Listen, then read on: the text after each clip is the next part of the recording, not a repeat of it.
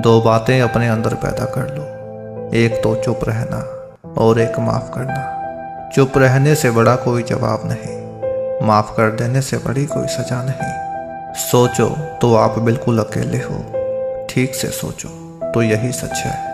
हर शब्द का एक मतलब होता है, हर मतलब में एक तर्क होता है। सब कहते हैं, हम हँसते बहुत हैं, लेकिन हंसने वालों के दिल में भी दर्द होता है। जिस इंसान को अपने अंदर कोई गलती नज़र नहीं आती, उन्हें दूसरों से गलतियों के अलावा कुछ और नज़र नहीं आता।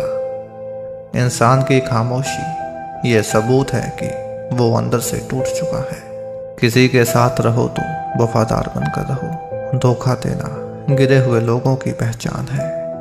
इंसान तब बुरा बनने के लिए मजबूर हो जाता है, जब लोग उसकी अच्छाई का फ़ायदा उठाने लगते हैं कि आप सिर्फ़ अपना काम करो। अभी इम्तिहान जारी है। वक्त खुद कहेगा, चल अब तेरी बारी है। झगड़ा तभी होता है जब दर्द होता है। दर्द तभी होता है जब प्यार होता है। ये सलाह के सौ शब्दों से ज़्यादा अनुभव की एक ठोकर इंसान को बहुत मज़बूत बना देती है। जो तुम्हें तकलीफ़ में देखकर खुद रो पड़े, वो इंसान कभी भी तुम्हें तकलीफ़ नहीं दे सकता। वीआईपी लोगों से रिश्ता रखोगे तो सिर्फ़ सलाह मिलेगी। छोटे लोगों से रिश्ता रखो। आधी रात को भी काम आएँगे। परमात्मा सभी को एक ही मिट्टी से बनाता है। बस फ़र्क इतना है, कोई बाहर से खूबसूरत होता है तो कोई भीतर से। किसी के सुख का कारण बनो, भागीदार नहीं। किसी के दुख का भागीदार बनो, कारण नहीं। ज़िंदगी में सब कुछ करना पड़ता है। जब कोई आपके लिए करने वाला ना हो। मौत से डर नहीं लगता।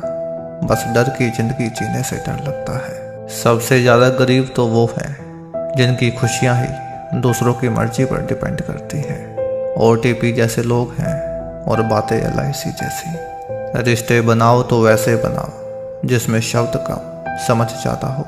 ये बिखरा हुआ समाज, बिखरा हुआ परिवार, कभी भी बादशाह नहीं बन सकता। लेकिन वो आपस में लड़कर दूसरों को बादशाह ज़रूर बना देते हैं। ये सहारे इंसान को खोखला कर देते हैं, उम्मीदें कमज़ोर कर देती हैं। अपनी ताकत के बल पर जीना शुरू कीजिए। आपका खुद से अच्छा साथी और हमदर्द कोई और नहीं हो सकता।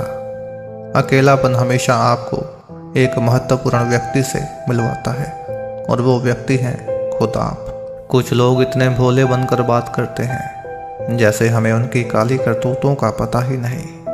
जिस घर में पहले बड़ों की सलाह नहीं ली जाती, उस घर में बाद में वकीलों की सलाह लेनी पड़ती है। कि अक्सर हम उन्हीं लोगों के हाथों अपना मज़ाक बनवाते हैं, जिन्हें हम कमज़ोर लम्हों में अपनी सारी सच्चाइयाँ सौंप देते हैं। इस कामयाबी के सफ़र में धूप का बड़ा महत्व है, क्योंकि छाव मिलते ही कदम रुकने लगते हैं। किसी के बुरे वक्त में उसका हाथ पकड़ो, सहारा दो, उसे हिम्मत दो, क्योंकि बुरा वक्त तो थोड़े समय में चला जाएगा, लेकिन वो आपको दुआ ज़िंदगी भर देता रहेगा। अकेले रहने पर आप इतना दुखी नहीं होंगे जितना आप गलत इंसान के रहने पर हो सकते हैं, कि तुमने तो खुद को कमज़ोर मान रखा है, वरना तुम जो कर सकते हो, वो कोई दूसरा नहीं कर सकता। कोई आपके रास्ते में गड्ढा खो दे तो परेशान मत होना, क्योंकि ये वही लोग हैं जो आपको छलांग लगाना सिखाएँगे। चेहरे पर मुस्कान बनाए रखिए।